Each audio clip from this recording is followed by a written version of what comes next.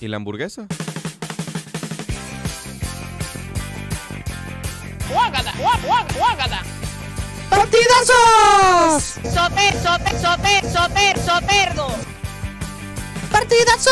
¡Oh, Ahí, oh, sí. oh, oh, oh, oh, no agarré el cue. No importa, no importa, amigo, no importa, no pasa nada. Fallé el cue. Porque hoy estamos cumpliendo un mes. Aquí se, no vamos a hacer cumplemes. No. Puede que sí. Ahora que lo pienso. Por lo menos el primer año. Oye, vale. 15 cada mes, una quincenita. Una celebración de partidazos, sí. Me gusta, me gusta. Ah, buena idea. Bueno, y hemos recibido varios amor, varios, varios amor, varios mensajes de amor. Amor múltiple, amor sí, múltiple. que varios amor. A Yo hablo bien. del 0424-276-2532, 0424-276-2532. También a través del chat de WhatsApp. Ah, Correcto. Aquí se habló en la primera hora de Mbappé, de mezclar carpachos, Se de, de Niad, la película de Netflix, de Oscar Yendo Valencia, de, um, de qué más se puede hablar. Esta hora hablaremos de solteros. Hablaremos de solteros varios. Sí seguimos, sí seguimos esperando algún cuento De que la bueno. gente de 30 todavía es joven. O sea, Se habló de eso, gente- exacto. Que la gente es útil, porque en esencia se fue de canciones horribles, Es verdad, eh, de canciones horriblemente cancelables. canciones cancelables, pero con ritmo excelente. Sí, vale.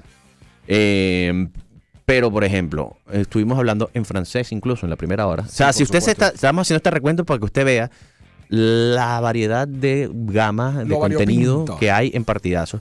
Pero eh, noticia que me, que me gustó y que, y que me, me empieza a emocionar cuando ya empiezan a haber noticias sobre las Olimpiadas Ok. que estén en Francia. Cosa que me hay, hay- cosas que me llaman la atención, como por ejemplo eh, el breakdance como eh, disciplina olímpica. ¿Sabes qué es lo que más me llama la natación? ¿Qué me llama la natación? ¿Sabes qué es lo que más me llama la atención Ajá. Del tema del breakdance? ¿Qué? Es cómo lo van a narrar. Exacto. Yo desde que procede a hacer un O sea- doble, uh, fuertes movimientos de cadera para rematar. Se- oh, oh, cuidado, cuidado, esa muñeca se ve inestable. Sí. ¡Wow! ¿Cuántas vueltas, Mike? Yo estoy Ahora narrando como si fuera ya como, como, como esos narradores de, de, de lucha libre americana Sí, los claro. domingos. ¡No puede ser! ¡El, el Undertaker! ¡Tiene a Yokozuna por el pelo! Porque además el tema, eh, el tema para tú narrar es que tienes que tener una cantidad de términos. O sea, ¿cómo te aprendiste todos los términos técnicos del breakdance para narrar breakdance? O sea, Solamente si eres el profesor Robert Rodríguez. Eso te iba a decir. ¿Cómo hace el profesor Robert Rodríguez? Él va, él va, o sea, sé que si él eh, está en esas Olimpiadas y narra breakdance, lo va a hacer con una magistralidad técnica. Claro, porque el profesor Robert Rodríguez, este señor que ha narrado las Olimpiadas desde que las fundaron. Sí, O sea, sí, sí, sí. desde que fundaron las Desde, Olimpiadas de desde que era, país. desde que era verdaderamente griega. Sí, sí, sí, tal cual. El profesor No, Robert respeto, Rodríguez está ahí. No, Sí. eh, esto lo decimos del máximo Sí, honor sí, y respeto, no, no. insignia. Él es un partidazo máximo. No hay formas más grandes de partidazos. Sí. Y pero, tú fíjate te por otro al profesor que más habla de esta manera Claro, muy, muy técnico. seria, Esto muy es un técnico. wasari en judo. que Es medio punto. y Que wow. ¿Cómo sabes tú eso en japonés? Fuerte movimiento de rodilla para impactar sobre el beat. Fíjense cómo en esta canción de a capela. Y que wow, como Mario. Como, sí, Usaron como Mario para esta 17 puntos sobre 10 para este tema. Gracias. Eh, ¿Qué te iba a decir yo? Snoop Dogg va a estar narrando. No sé si la parte de breakdance, pero me muero por ver a Snoop Dogg narrar eh, gimnasia rítmica. ¿Sabes que él, él narró en las Olimpiadas anteriores? Él narró en los Olímpicos Sí, pero no me, o sea, no, yo me enteré de eso como dos años después. Yo lo vi y es. Porque además lo ponían a narrar. Entonces se lanzaba una. Él estaba narrando que sí, equitación. Eso, fantástico. Entonces dije, damn, that Damn, horse, the get horse moving, is so on the whistle, whistle." whistle, yeah. Entonces se lanza que parece mi tía Gladys cuando se arregla. Y la- o sea, era puro remate. claro. Era Snoop Dogg con Kevin Hart Uf. narrando equitación. Uf. Y que ese caballo se ve mejor que yo. Decía- y decía quién le peinó la clineita al caballo para que me las haga a mí. Claro, ¿ves? Era una joya. Es que eso es lo que quiero ver. Pero bueno, volviendo a temas olímpicos, me, me llama la atención mucho el tema del, del, del breakdance, el tema del surf, que creo que obviamente no va a ser en Francia, sino en alguna isla eh, francesa o isla de- del. ¿Cómo se llama esto? Eh, como el Commonwealth en inglés, pero Sí. islas que no son francesas, pero son de Francia. ¿Dónde va a ser? En la reunión. Puede ser algo así, ¿no? Es, la- es la- es lo que no- Sí, honestamente la no sé. mancomunidad. O sea, no veo en el río Sena haciendo olitas, olitas falsas para hacer la competencia de surf ahí. No, pero, pero- surf como co- disciplina olímpica en Francia me llama muchísimo la atención. Hay unas cosas que sí están limpiando como el Sena para hacer que sí, canotaje. Ok. Y van a hacer como una. Tienen toda una cosa y donde van a poner que sí, los Champs-Élysées, unas canchas y unos. Y a- sí, no, me imagino que eso, eso sí va, pero surf sí no sé si puedan, no lo logran, pues no, No, lo creo. bueno. Eh, había también como una infestación a principio de año de, de, de, de como de garrapatas de cama. También, por Sí, supuesto. ¿cómo se llaman esos animalitos? Bedbugs, Bicho, eh, chinche. chinches, como lo llaman allá, pero aquí chinche es otra cosa. Sí. Chinche es el que aplasta y huele mal acá. Pero bedbugs, hay como Ácaros. ácaros, bichito de cama que puya. Hay, que hay infestación en Francia, espero que ya hayan controlado eso. Pero a lo que iba, mira, ya vamos a música, pero a lo que iba.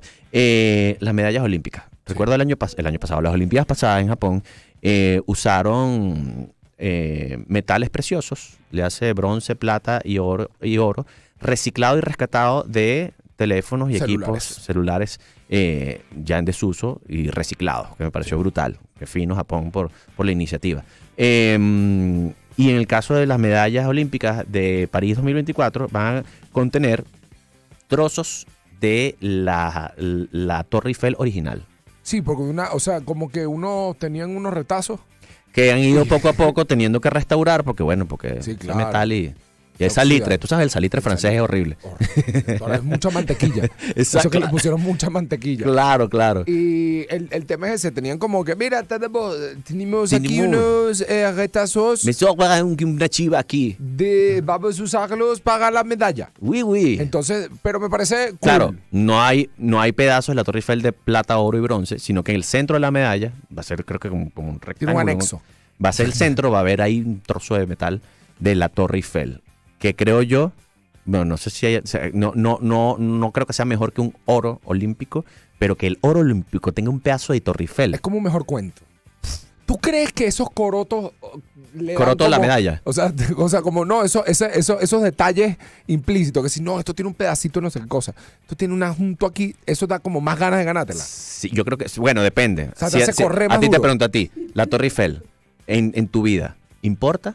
O... Meh. Ok, por ejemplo, a ti debe ser como, ok, mi esposa puede vender la casa y venderme a mí para volver a viajar a Francia, para volver a ver a la Torre Eiffel por un segundo. Me vende a mí. Ok, Entonces, si le dices a ella que se puede ganar un oro con un pedazo de Torre Eiffel, ok. me vende a mí Atención, y vende la federaciones casa. del Sí, país. entonces depende de la Hay un persona. atleta en potencia para obtener una Y medalla. ayer ella vio esta película Nia, Porque si entonces le, va a tener la mente puesta para si ganar. agarramos y le decimos, mira Ángela, vas a correr de aquí a allá durísimo y al final te dan un pedacito de la Torre Eiffel, capaz gana. Correr no es el mayor de sus talentos. Bueno, pero... sea un deporte que sea tranquilito. o sea, ¿cuál deporte le podemos...? Tiene buena puntería. Sí. Arco y flecha. Sí, sí, sí. Eso es lo que llamamos el factor granados. En Ajá. su familia tienen una puntería ¿De de verdad? demonio. Sí. Ok, entonces ven, ahí tenemos Ahí un tenemos, deporte ok. tranquilito. Ok, ok, ok. María Ángela, si apunta ya, Ajá. si le pegas ahí te van a dar una cosa que tiene la Torre Eiffel, es una medalla más para es el eso, país. es eso, sí. Y es una medalla eh, con Torre Eiffel para ella. Entonces ve, Sí, claro. Claro. ok, yo estoy pensando si en algún momento, o sea, si hay algún lugar así que yo diga, wow, esto me gustaría. Que tenga, que tenga el. Sí, porque también lo que hizo Japón es que, ajá, tú tienes que tener un pedazo de iPhone. Yo iPhone gran- tengo. Está bien, pues. sí. Está O bien, sea, gran no cosa. por- Pero la Torre Eiffel es impresionante. Que un pedazo de, de la bola de Soto. Oye, Un pedazo de Cruz 10 del, del, del- Ey. del aeropuerto. no, yo soy muy fan de Cruz 10, Un- pero no dañen el Un piso. pedazo de Menina. Oye, No, de verdad, la gente que se lleva el pedazo del piso de Cruz Sí, 10 vale, chico. provoca saludarlo con una silla. ¡Hola! ¡Qué Sí, vale. buenos días! No, y además, además oye, yo, yo no sé cómo funciona la restauración de esos pedacitos, pero hagan algo. Sí, está Bueno, es como un tema ahí, de que sí. tú no puedes, eso no lo venden. Claro, Eso tú, ven. tú tienes eso, tienes una No, y hay esos huecos ahí porque no se han reparado. Sí, vale. Bueno, hay tantos huecos que reparar. Dios mío, denuncia. Pero a lo mejor que sí, un pedacito de la Estatua de la Libertad original. Ah, por ejemplo. Yo digo, Claro. diablo, sí me gusta el cuento. ¿Viste? Ves Al- que depende, depende. Ah, También a lo mejor es porque yo no he ido para París. A lo mejor voy a París y vengo con ganas de correr. Sí, O por tu pedazo. y Mira, aquí dice vez. un pedazo de una momia. ¿Qué dice arriba? A ver, arriba. Eh, un pedazo de una momia o de una pirámide. Claro, ¿Ves? Aquí alguien eso, tiene ¿quién su. manda su- esto? Pero eh, no, no sabemos quién eres, amigo Funko. Este, Amigo FS. Ajá, FS. Claro, fíjate, él puede tener su, su, su fascinación por la cultura egipcia, por las pirámides, pero un pedazo de momia, yo no, No, sé. pero el tema es que ya ahí, carne seca señor ahí. FS, el tema es, es que hay ya, yo, hay películas de posesiones que empiezan con un pedazo de una Es- momia. no, toque, no, exacto. O- ah, Si algo hemos aprendido es que no jurungue momia. Exacto. Ahora, No jurungue que pirámide. te posea la Torre Eiffel. Bueno, vas a hacer un poceso bien tranquilo y parado. ¿Qué- que qué soy la? Torre Eiffel. Está Estoy poseído por la Torre Eiffel. Ahora parado, la gente se monta en mí. Y le gusta, le gusta la ropa. Y usa boina.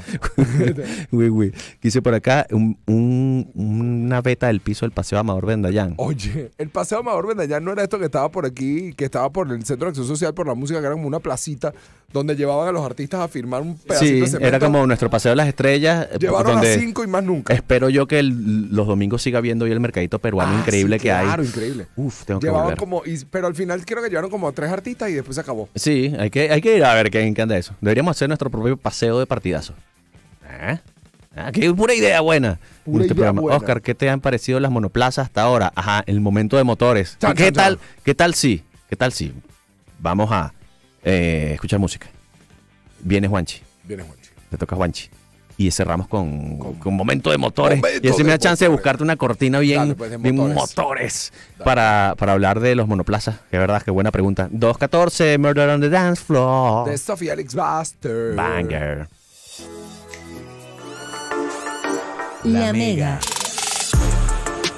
El trend en el que quieres estar.